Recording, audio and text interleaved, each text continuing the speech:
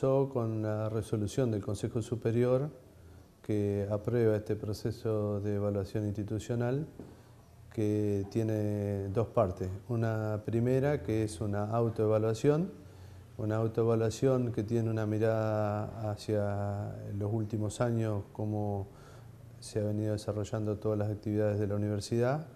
Esa mirada eh, refleja eh, la opinión de los propios actores, de toda la comunidad universitaria, de los estudiantes, los graduados, docentes, el personal administrativo, y eso genera un, diagnóstico de la universidad, un proceso de, evaluación interna.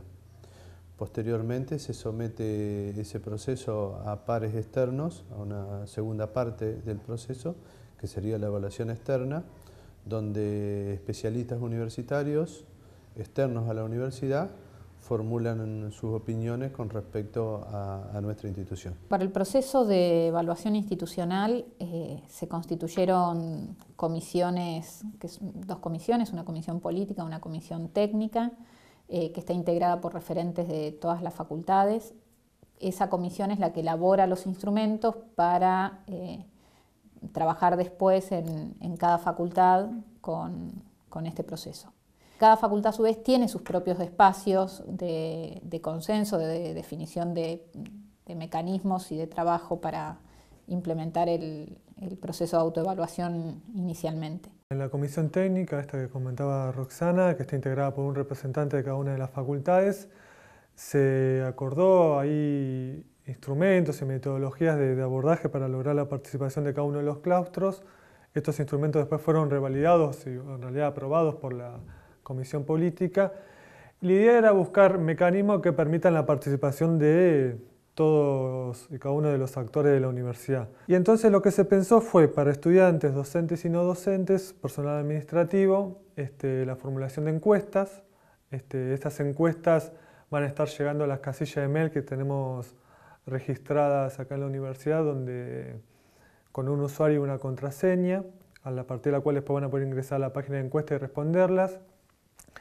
Esas encuestas van a ser anónimas, van a estar desvinculadas del perfil de cada uno y únicamente se van a usar a los fines de la, autoevaluación institucional. Yo creo que el valor eh, en sí eh, surge de que es una opinión institucional, o sea que no es una evaluación realizada por las autoridades, eh, sino que, como decía anteriormente, es el conjunto de la universidad. Todos los claustros van a opinar sobre los distintos temas en los cuales actúa y tiene actividad la universidad.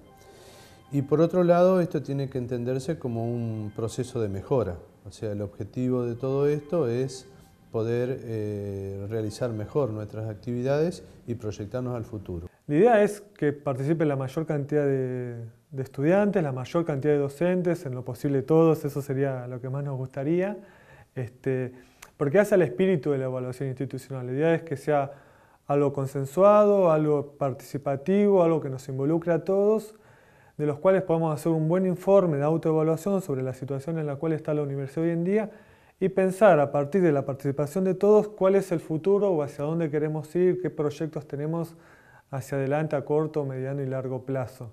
La participación, como dice Mariano, es voluntaria. Nadie está obligado a participar de este proceso. Sin embargo, cuanto más voces haya, una mejor mirada sobre la universidad eh, vamos a poder obtener. Entonces, la verdad es que pensar un proceso de, mejora de los mecanismos institucionales, de crecimiento de la universidad a futuro, eh, necesita, requiere como condición que todos los actores de la universidad puedan participar. Eso es una condición, la verdad es que para nosotros muy necesaria y es lo que va a reflejar mejor eh, una mirada institucional sobre nuestra universidad. No es la decisión de una gestión eh, que tiene un tiempo acotado en la conducción de la universidad, eh, sino que es la mirada de todos los actores de la universidad sobre qué universidad queremos y, cómo vamos a recorrer el futuro. Me parece que eso es lo más importante.